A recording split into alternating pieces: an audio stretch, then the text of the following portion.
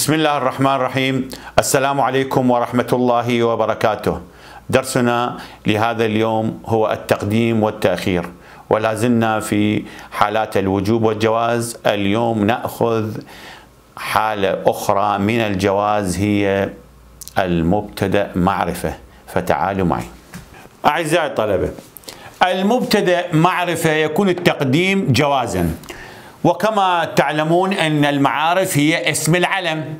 أسماء حضراتكم. الاسم المعرف بال أسماء الإشارة. الضمائر. أسماء الموصولة والمعرف بالإضافة. فتعالوا معي نلاحظ أين المعرفة وكيف يكون التقديم. بسم الله الرحمن الرحيم. لله الأمر من قبل ومن بعد. هذا هو التقديم. لله.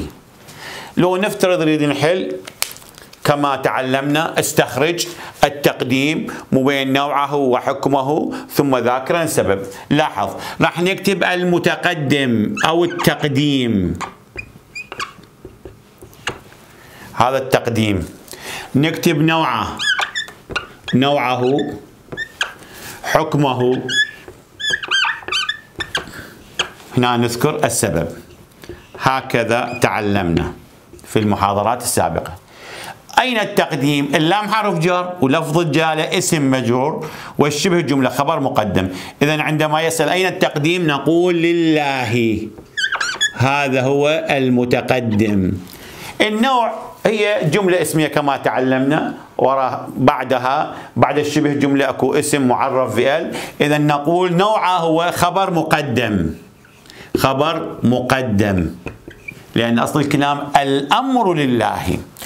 حكمه جوازا لأن المبتدأ معرفة كما قلنا. إذا حكمه يكون جوازا. لماذا جوازا؟ نقول لأن المبتدأ معرفة. أن المبتدأ عندما يكون معرفة يكون التقديم جوازا. نأخذ الآية الأخرى. بسم الله الرحمن الرحيم. وعنده مفاتح الغيب. لاحظ التقديم. أين التقديم؟ عنده. هنا أيضا لابد من توضيح للتذكير ليس إلا إحنا تطرقنا له. نقول عند الطالب لاحظ هاي شبه جملة ظرفية. عندي هذه أيضا شبه جملة. عندها عندك عند ظرف وهو مضاف الطالب مضاف إليه. عند ظرف وهو مضاف الياء مضاف إليه وهكذا الهاء مضاف إليه الكاف مضاف إليه. هذه كلها أشباه جمل متكونة من جمل ظرفية يعني شبه جملة. إذا عنده شبه جملة. مفاتيح الغيب هنا معرفة. هنا لابد من توضيح. الشبه جملة افتهمناها أنه ظرفية. الخبر هنا معرفة كان هنا معرف به هنا معرف بالإضافة. لابد من توضيح آخر للمبتدع. نحن نعلم إن عندما نقول قلم هذا نكرة. شجرة هذا نكرة. كتاب هذا نكرة صح لو لا؟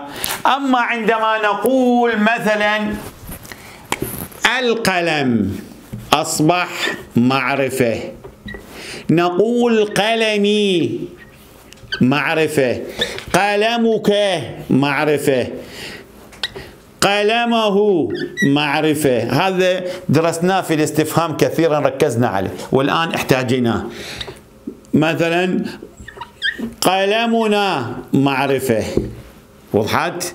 إذا أي اسم أعرف بأل يصير معرفة إذا كان اسم نكرة. والاسم النكرة عندما أضيف لأحد الضمائر أيضا يصبح معرفة. الحالة الأخرى المهمة اللي إحنا في صددها. نقول قلم الطالب لاحظ هنا.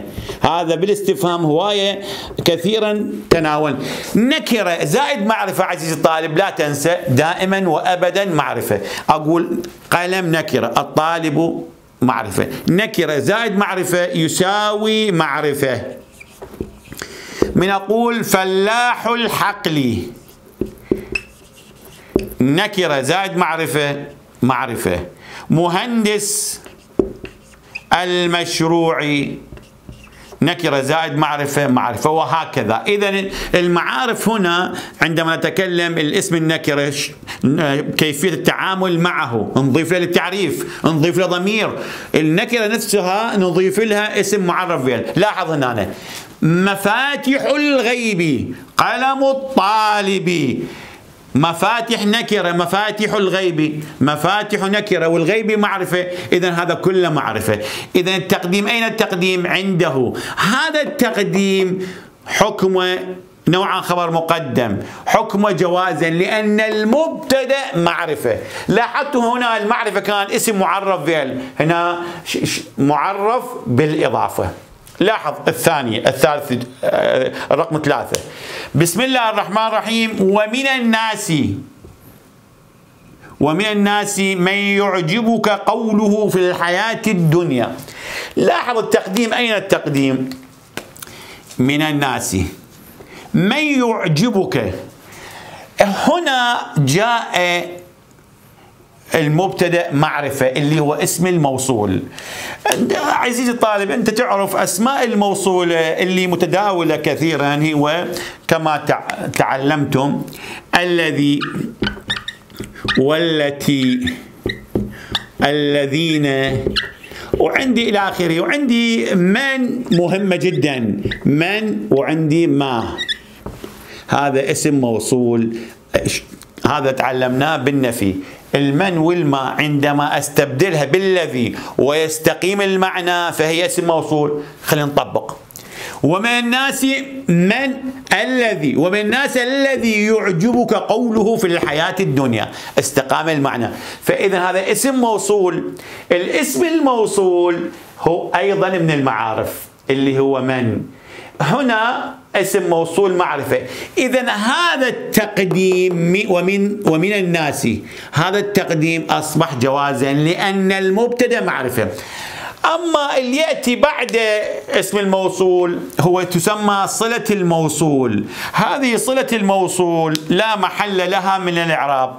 آه احتمال اليوم يعني نفصل به الحديث أكثر. إذا اسم الموصول يأتي بعده صلة. هذه لا محل لها من إعراب. نأخذ الآية الأخرى. بسم الله الرحمن الرحيم. لله ما في السماوات والأرض. لله هي الشبه جملة. لله هي الشبه جملة. ما لله الذي في السماوات والأرض. لاحظ لاحظ عزيز طالب أنه في السماوات هي صلة الموصول. نقول هذا التقديم هو اللي خبر مقدم. حكم جوازا لأن المبتدأ معرفة. لاحظ المعارف. اسم معرف آه، هنا جاء معرف بالإضافة. هنا اسم موصول من؟ هنا اسم موصول ما؟ وهكذا يتنوع تتنوع الضمائر. ناخذ اسم ناخذ معرفة اللي ضمير ما أخذنا الضمير. نستذكر آية على سبيل المثال نقول بسم الله الرحمن الرحيم. خلينا نطيع رقم خمسة. قال تعالى سلام سلام هي حتى مطلع الفجر. لاحظ. أين التقديم؟ التقديم هو سلام. هي أصلها سلام هي. هي سلام. أصل الكلام هي سلام. لأن المبتدأ معرفة هي من الضمائر. بمعنى هنا توضيح. نقول هو طالب. مبتدأ خبر.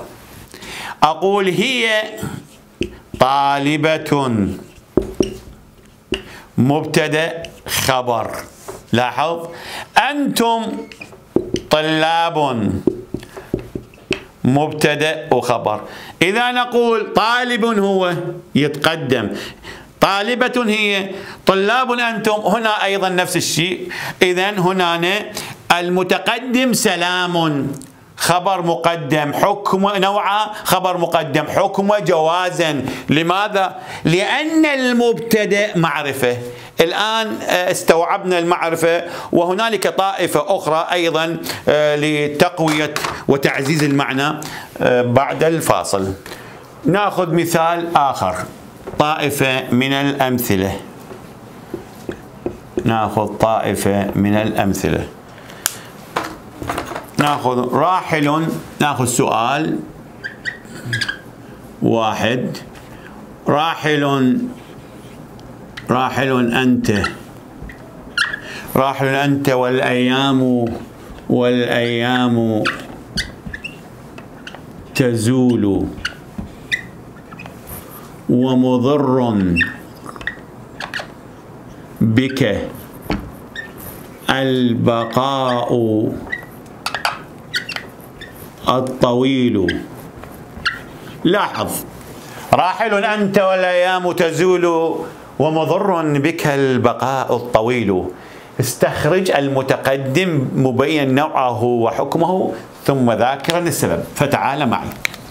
نقول التقديم التقديم نوعه حكمه.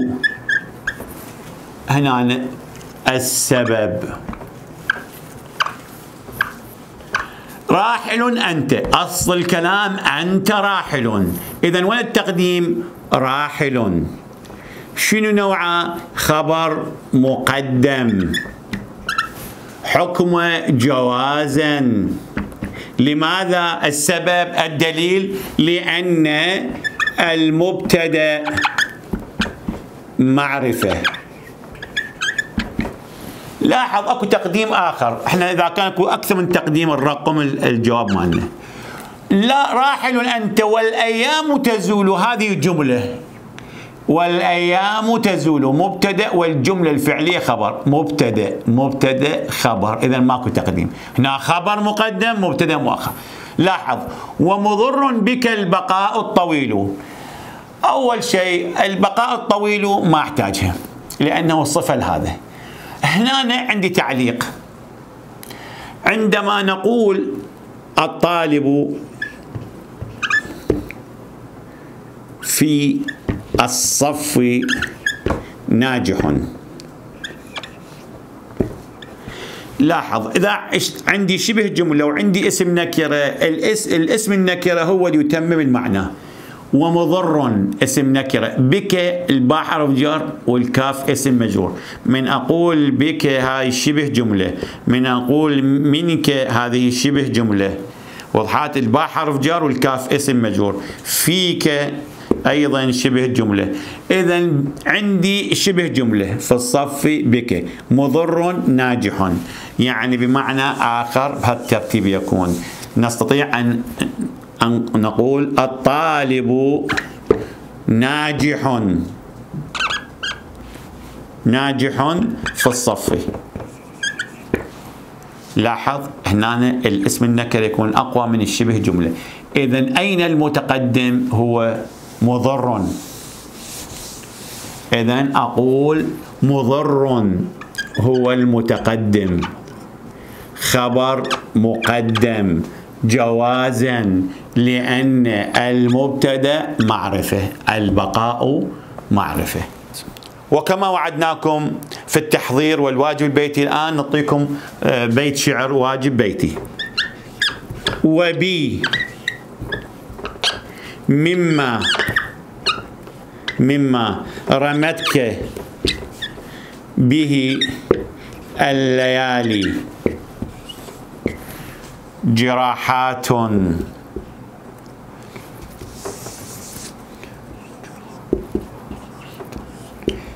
لها في القلب لها في القلب عمق. لاحظ السؤال. وبي مما رمتك به الليالي جراحات لها في القلب عمق. اجعل اجعل التقديم الثاني جائزا. ثم ذاكرا ذاكرا السبب. هنالك لاحظ فهم السؤال جدا مهم. عندما نقول اجعل التقديم الثاني اذا هنالك أكثر من تقديم. اذا أكو تقديم أول وثاني واحتمال ثالث واحتمال رابع. الله أعلم. إذا السؤال اجعل التقديم الثاني جائزا. إذا التقديم الثاني تركز عليه. من أقول جائزا إذا هو كان احتمال واجب. وهذا أكيد واجب لأن نقول واجب جائزا. ثم ذاكرا السبب. هذا هو التحضير اليومي. إحنا في المحاضرة اللي الجاية إن شاء الله راح نحل هذا السؤال مباشرة. أعزائي الطلبة لا نقول وداعا بل نقول إلى اللقاء. ترقبونا في درس آخر وحلقة أخرى إلى ذلك الحين. السلام عليكم ورحمة الله وبركاته.